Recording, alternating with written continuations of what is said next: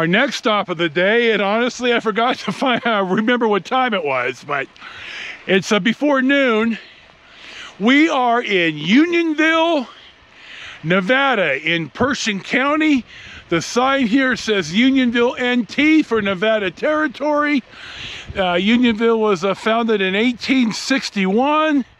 I have the Wikipedia up on the phone that I'll, I'll uh, talk a little uh, bit more about when I take a picture right in town. The, uh, my uh, phone uh, GPS uh, said to turn right a while ago, and I guess it was on this Unionville cutoff road, but I didn't see it. It looked like a horrible road. I'm not getting stuck out here. When I get back in the car, somewhere down the line here, I'll, uh, I'll mention uh, our adventures in France. But um, I ran into a guy and hopefully you'll, uh, you'll, damn son, you'll see me pull up to him. I'm not gonna, I'm not gonna put him on film certainly, uh, but his name is D.W. Hudson. He's a pastor. He's the pastor of the Church of the Good Shepherd. And he gave me his card and, you know, I stopped and asked him if I was, you know, heading the right way to Unionville. And he said yes. And then he asked me if I was, you know, going to someplace a particular. And I told him, well, no, but I said, I'm a student of Nevada. And it is a personal shame that I have never been to Unionville. And so you could see it really brighten up. And he offered, you know, you ever want to just, you know, sit and talk about Nevada, you know, drop by. The guy was in his 70s. You can see, hopefully, on the film, I mean, he was in full cowboy gear, dude. Uh, guys, I mean, just, just the real deal. He's not a Silicon Valley cowboy. This guy was a cowboy. He said he has never seen the internet. He doesn't have email. He never, never, ever, ever.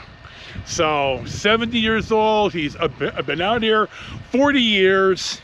Um, I said, oh my God, Pastor, you live in the life that I should have lived. So I, mean, I don't want to be bronking cows, but Anyway, we're going to drive up into town and then we're going to see what's there. So we'll see what's next.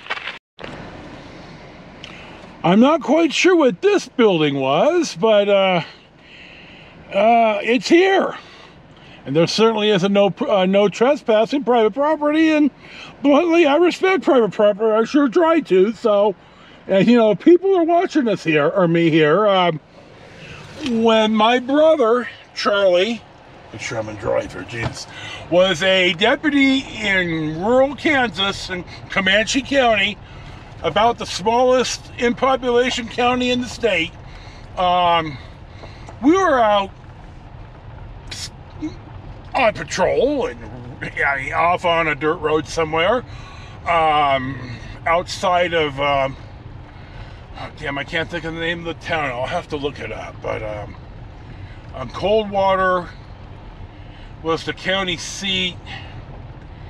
Oh, dude, I'm just having brain fuzz, but I'll I'll text it in here. Um, um, Jesus. Anyway, um, we were on the dirt road and we stopped at the county line. It was on the road to Belvidere, which is in, in the next county over. And oh, here's the country inn that apparently people stay at out here. It's the only business in town. So, and uh, people live out here. Uh, according to Wikipedia, the uh, the population is about 20 at the last census. Anyway, um, we got out to the county line and we got out of the car and uh, the patrol car, uh, and I made the comment something like, you know, damn, dude, there's, there's just nobody out here. And he looked at me and said, every ranch family watched us drive by or is watching us now. He said they're either watching us through binoculars or they're watching us through the scope of their rifle. He says, of course they're not going to shoot us, but they kind of want to know why we're out here. Oh, look at the boy. Oh, look at him. Oh, hey, buddies. So, you know, you get out here in the rural and, you know, people may not, you know, people may approach you, people may not approach you, but they're going to certainly think, okay, why is this person that we've never seen kind of driving through town? And by God, if I lived out here, you know, I'd be having my eye open too, you know. Are you gonna arson the you know the place out here? Are you gonna dump a body? What are you doing? So, you know, then you know, like with the Padre here, you know, when you tell him, I'm a you know I'm a student in Nevada and I, I've never been here. There you go. So this is interesting. This is a Trader Ranch. Um, I'm going to actually film this because I should film it as I drive by. Boy, the propane truck even drives out here. He's got two big tanks. He ain't, he ain't running out. And we need to call Uncle Billy and get this shit burned down. But nevertheless, so I, I thought there was a park in town, but I'm not seeing it. So, Goldman Coleman Pass is the road. We're going to drive up a little more, but if there's not what I thought I was seeing, then I'm going to go ahead and turn around and we're going to head back. So we'll see.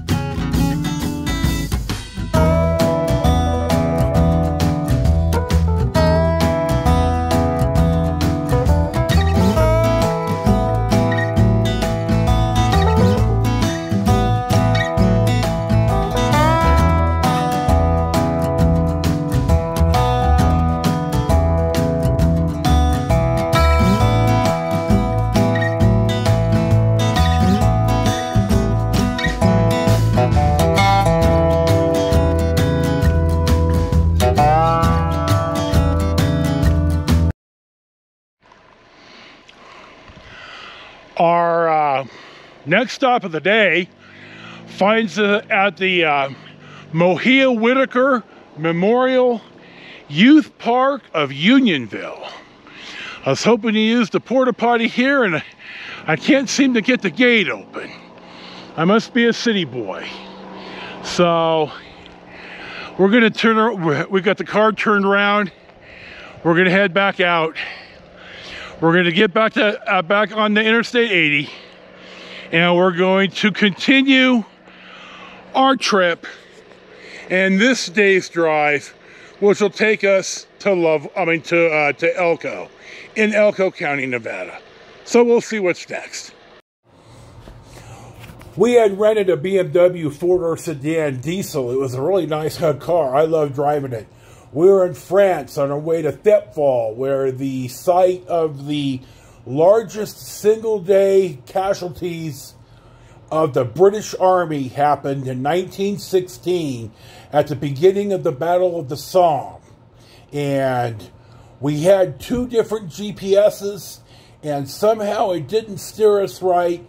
We made the wrong the, uh, uh, the wrong choice at the V, just like here, where we're taking the right choice. And we ended up kind of on this dirt starting to turn into mush. We drove by uh, 200s that looked at us like, what in God's name are you idiots doing out here? So we realized, you know, we're not going the right way. So we didn't get stuck. I got the car turned around we managed to find our way back to the Y, take the right or the left arm of the Y and not what we took. We made it to the Thiepval and the museum, and it turned out to be, you know, it, it would have been a whole lot worse had we had been stuck in the middle of the French rural countryside. countryside. So now we're going to see us get back on the Nevada 400 we're going to get back on the freeway and we're heading to Winnemucca.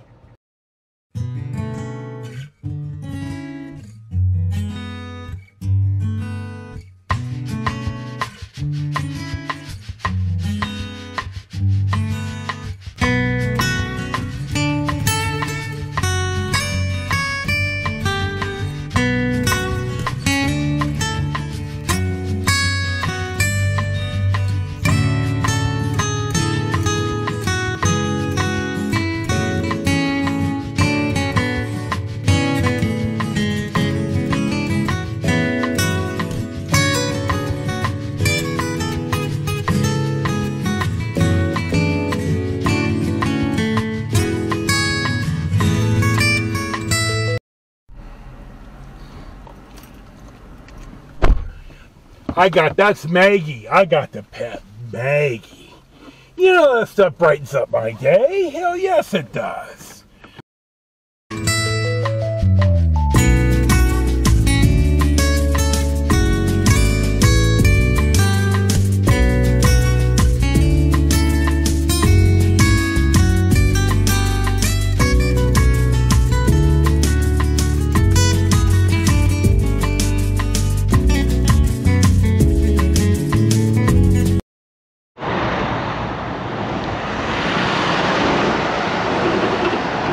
I'm in Winnemucca and I'm at the Humboldt River, which as you can see is not really flowing today. Uh, Winnemucca was first here by the settlers. It was used because, here we go, Jesus, dude, hold the camera. It was used, it was a place in the Humboldt River that was wide and shallow and it was called Gravelly Ford because the settlers using their their wagons, their Conestoga wagons and such, could easily ford the Humboldt River here because it was shallow and it was gravelly. So that's why it's here. Up the street is something I'm going to film. That's going to be about it for here, and then we'll press on. I've already uh, texted my cousin. She's looking forward to me showing up. Life will be good. I may run a little bit more Win uh, Winnemucca the other side of the, uh, of the main drag, not Winnemucca Boulevard, but we'll see what's next. Our next stop of the day in Winnemucca is at this log.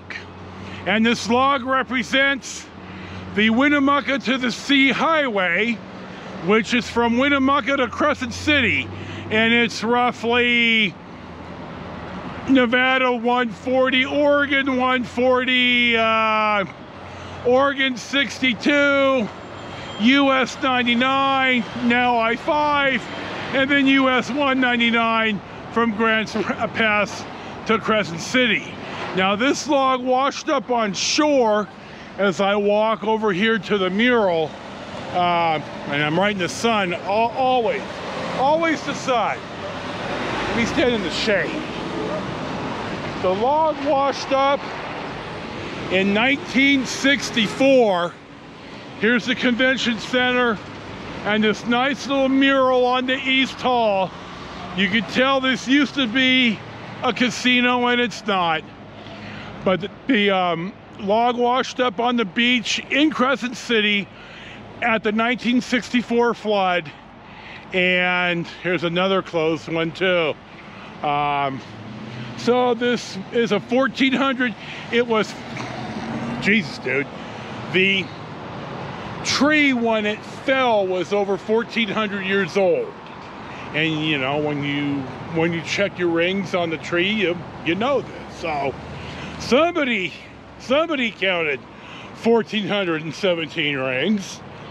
So I wanted to point this out. I've uh, I've been through Winnemucca a million times and never really stopped and taken a picture of it. Uh, it's always I'm heading to somewhere else.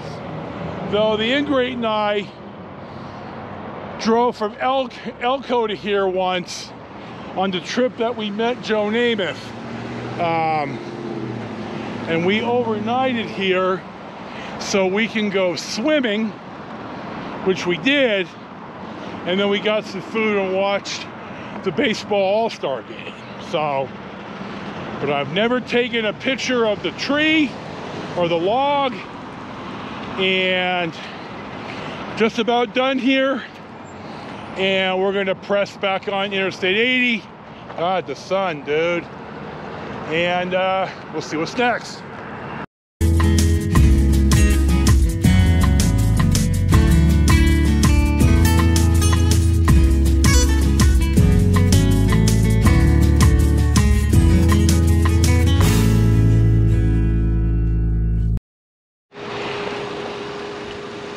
Stumbled across this. It's the Humboldt County Courthouse here in Winnemucca, Nevada, in Humboldt County. Let me walk over here, though I got the car running. Uh, probably not my brightest move. Sorry, Mom. Um, let me see what it says when it was built. Hold on. Um, the seat moved here in 1873. The courthouse was uh, built in 1874. The last shit, Jesus, the last execution here was 1886. This courthouse was um, finished in 1921 on top of the 1874 foundation, which burned in a fire. Um, so there you go. It's on the uh, it's on the National Register of Historic Places. I'm gonna bet that this used to be the firehouse. Kind of hard to hide the architecture. In fact, it is. There's a sign right there. Winnemucca Firehouse, 1935. You certainly can't miss that Art Deco, even for the middle of the Nevada desert. So we're done. I think now we're done. And as I'm driving out of here, we'll see what's next.